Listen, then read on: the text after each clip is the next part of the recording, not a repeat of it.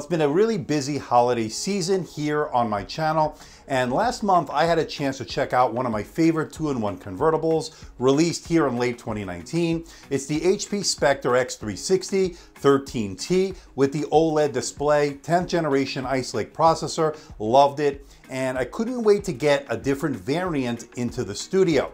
So when HP hit me up to check out their all new 1 watt low power display full HD display that gets phenomenal battery life, I quickly jumped on it. And I have to say, because of the battery life and great price, this may be the one to get. Hey everybody, it's Andrew, and this is my review of the HP Spectre X360 13T, the full HD model, coming up.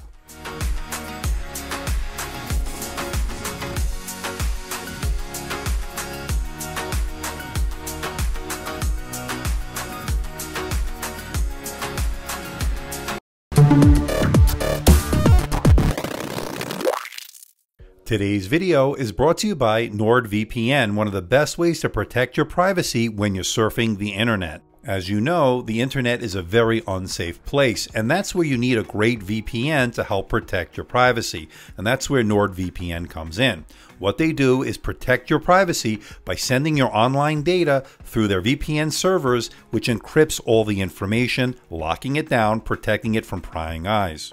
By changing your IP address, you're now more protected as no one is able to figure out where your data is coming from and who it's coming from. They have more than 5,500 superfast servers in 60 countries. It not only unlocks Netflix and your favorite entertainment websites, it also protects your data while traveling in public places such as airports and coffee shops. It even works in China. And rest assured you're in good hands with NordVPN as they were selected as the best VPN in the Best VPN Awards for 2019. That's impressive. And I have some great news. I've teamed up with NordVPN to give my audience a very special discount of 81% if you head on over to nordvpn.com forward slash AMD Tech, use the code AMD Tech, and you'll get four extra months when you sign up for the three year plan. And in addition to that, you're going to get the NordPass Password Manager app absolutely free. That's a value of $194.61. That's a fantastic deal. So head on over to nordvpn.com nordvpn.com forward slash AMD Tech to get those savings. And I want to thank NordVPN for sponsoring today's video. And in the interest of transparency and full disclosure, I'm not being paid by HP, I'm not being sponsored by HP. All the opinions you're about to hear are my own, and no one is seeing this video before its release. The review unit is on loan from HP, and once this review is done, I am sending it back to HP. Now pricing starts at $10.99 and for what you're getting and the quality that you're getting, to me that's a steal.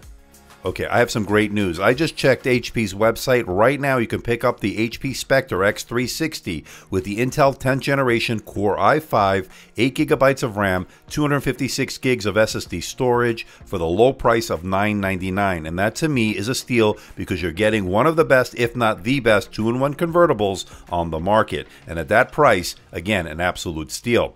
I'll put the link below for more information and where you can buy it. The review unit HP sent over comes in at $12.99. That's a Core i7 with the 1 watt low powered Full HD display. And with that out of the way, let's find out what you get inside the box. Let's open it up. Now, I love the fact they include a faux leather sleeve. It really looks nice, and they do include a place for you to store the pen. I love that. Now, lifting the lid, you're greeted by some setup instructions and the unit itself. We'll get to that in just a moment. You also get some warranty, safety information, and all the other documentation. Now, you do get a 65 watt USB C power adapter, and they included a pen that matches the color of the natural silver. That's the unit they sent over this time around. Now, I looked at the Poseidon Blue last year. I just took a look at the Nightfall Black with the OLED model, and I'm glad that I have the natural silver. And I have to say, it shows much less fingerprints. It's a very sleek and premium looking device. Now I went over the ports in the OLED version video, but for those that didn't see it, on the left side in the corner is your power button and you get your 3.5 millimeter headset jack and a USB-A 3.1. Moving over to the right side is a microSD card slot, a kill switch for the webcam, and two Thunderbolt 3 ports, and they do support four lanes, so if you want to connect to things such as multiple 4K monitors, external GPUs, you have that option. Okay, now let's talk about the display. The review unit I have here has a 1 watt low powered full HD display. That means it has a resolution of 1920 by 1080. And one of the benefits, of course, of having a low powered display is battery life. And I have to say, it's been excellent. We'll talk about that in just a little bit. But getting back to the display itself, you got some really vibrant colors, some really deep blacks, excellent contrast, everything you'd want in an excellent full HD panel. And it also covers the color gamut really well 99% sRGB, 78% Adobe RGB. So if you're a creative professional that does Lightroom, Photoshop, and video editing, this is definitely a good choice. And it's also a bright display coming in at 348 nits, which is definitely good for both indoor and outdoor use. But of course, the real benefit of having a low power display is some really great battery life. In fact, I got 12 hours and 5 minutes on my continuous web surfing test over Wi Fi at 150 nits, and that outlasted the OLED model by 5 hours. That's pretty great. But if you do need to plug in, you do get a very compact 65 watt USB C power adapter, which will give you 50% in 30 minutes, less than 2 hours for a full charge. Needless to say, battery life and charging times are excellent on this compact 2-in-1 convertible. Now, if battery life is not your main focus, check out the OLED 4K model that I did review last month, and I have to say it's simply stunning. It's absolutely gorgeous, really good brightness, excellent contrast, really deep blacks, and very vibrant colors, which of course are the hallmarks of an OLED display. And they still managed a solid 7 hours on my continuous web surfing test, so again, you're not sacrificing too much battery life, although if you want that excellent battery life, stick to the 1 watt Full HD display. And here they are side by side. Of course, the sharper, higher resolution is going to be the OLED, better battery life with the Full HD model. And they managed to slim the bezels over last year's model. You're now looking at a 90% screen to body ratio, which is definitely pleasing to the eye. So this is the front-facing camera on the HP Spectre X360, late 2019. And as you can see, this is a 720p, 30 frames per second camera. Uh, not great. Uh, not the worst I've ever seen, certainly not the best, but it's definitely good for Skype, definitely adequate for video conferencing. Now, the camera itself is a Windows Hello camera, meaning, meaning it's an infrared camera, so you can log in with face recognition. It worked really well, and it's pretty slim top bezel as well, so I'm happy with that. But I'm curious to know what you think. Let me know in the comment section below. And I love the fact that this does have a kill switch that allows you to turn off the webcam, giving you more privacy and more security. And there's also the ability to turn off the microphones, adding another layer of security. And there's a fingerprint scanner located below the cursor keys that allows you to log in with Windows Hello. It registered my finger every time I used it. It worked really well. The Spectre X360 gives you a lot of versatility. You could put it into the tent mode. You could also put it into the stand mode. Both are great for watching and consuming media. Now, as far as the tablet mode, great for surfing on the sofa as well as use with the pen. And as I mentioned in the last video, the pen uses the N-Trig pen technology, the same as the Surface Pen, great for taking notes and sketching out artwork. And as I mentioned in the last video, I absolutely love this keyboard. I think the tactile feedback is great as well as the key travel, which is not common on a thin and light laptop, so I'm glad to see that. It also has a multi-stage backlight that allows you to get work done in a dark room or a dimly lit environment. And you get a precision touchpad, and what that means is a really responsive touchpad which gives you buttery smooth scrolling as well as all the Windows 10 gestures working as advertised. I'm impressed with this touchpad.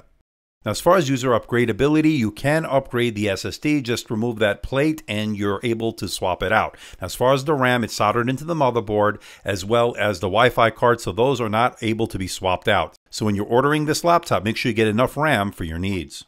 I covered the performance in my OLED version video, so check it out. The link will be in the description below, but suffice it to say, the 10th generation Intel Core i7 did very well. It was also aided by the fact that this has the Intel Iris Plus graphics, which definitely gives you a better boost in terms of graphics performance over last year's model.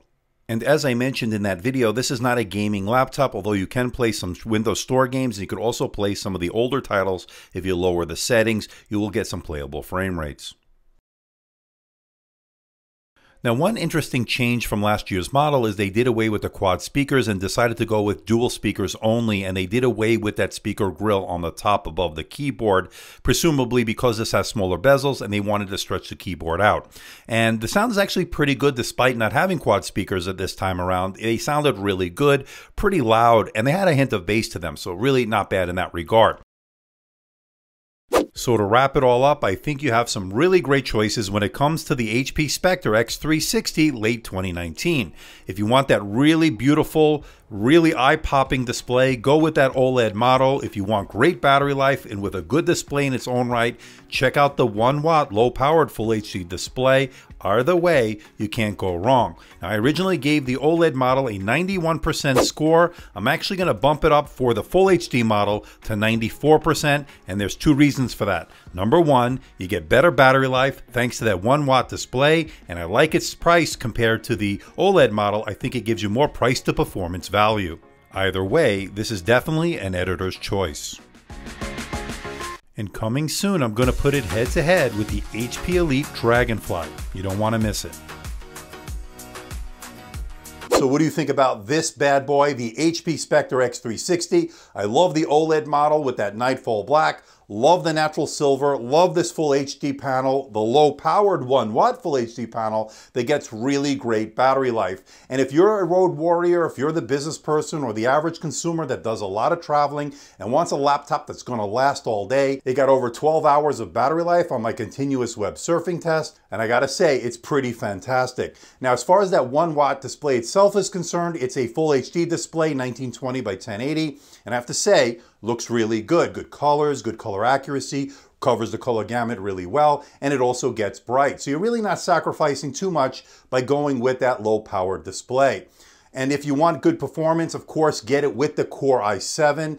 Core i5 will do certainly great on this, but the Core i7 will give you a little bit more performance and you won't sacrifice too much battery life with this low powered display. Now you can pick it up for $9.99 over at HP.com. I'll put the link below for more information and where you can buy it. With a starting price of $9.99, to me that is a steal considering you're getting probably one of the best two-in-one convertibles on the market right now. Now, an FYI, I just took delivery of the Lenovo Yoga C940, a 14-inch 2-in-1 convertible that competes directly with this HP Spectre X360. Expect a video in the next few days. So please hit the like button, please subscribe, please share this video. Don't forget to leave a comment in that comment section below. Let me know how I'm doing. Let me know if there's a device or something out there you think I should review. I'll do my best to try to make that happen. Don't forget to check me out on Facebook, Twitter, Instagram, and of course my website, amdtechreviews.com. So until next time, this is Andrew from AMD Tech. See ya.